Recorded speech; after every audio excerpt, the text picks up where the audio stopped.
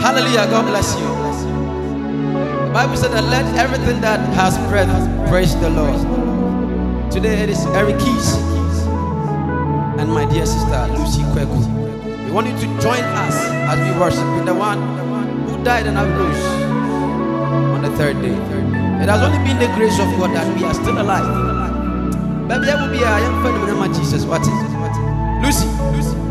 Now, Yahweh,